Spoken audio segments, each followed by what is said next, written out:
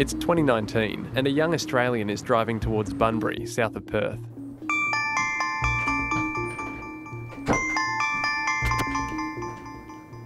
Krieger, can you say oh. something real quick? Yeah, can you hear me now? Yeah, I got you. So far, this sounds like an average business call, but it's not.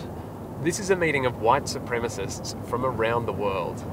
The men on this call are from Russia, California, and Perth. They're all members of a group called The Base.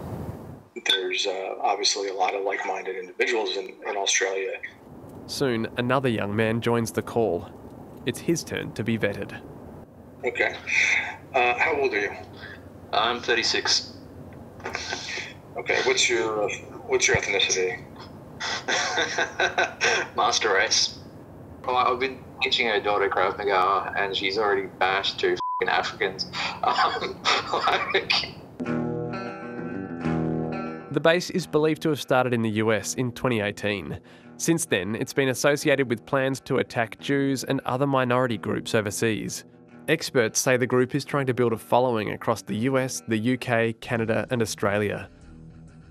They've conducted hundreds of interviews like these with men from all around the world in an intentional, coordinated recruitment drive. Can you hear that okay? Yeah, I can. This is the voice of an applicant who went by the name Rureich88. So why do you want to join? What made you want to apply?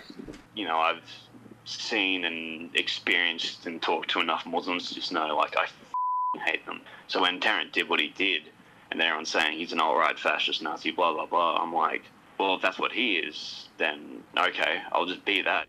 Your reaction, Senator? Uh, profoundly disturbing and worrying um, that a young Australian uh, would speak in those terms about his fellow Australians and that he would endorse um, someone like the Christchurch shooter in such unequivocal uh, way. We have uh, questions that we'll also ask you. We set about trying to track down some of the Australians on these tapes. They leave very few clues, but one stands out. Okay. And uh, what organizations are you affiliated with, or or have you been affiliated with in the past?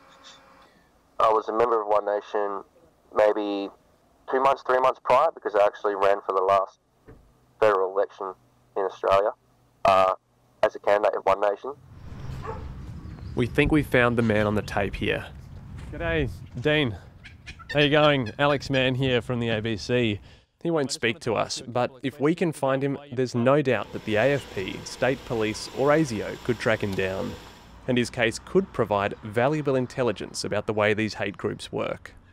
If you believe that violence is a legitimate way to achieve your political objectives, then we have zero tolerance for you and we will come after you. We'll come after you uh, very, very comprehensively.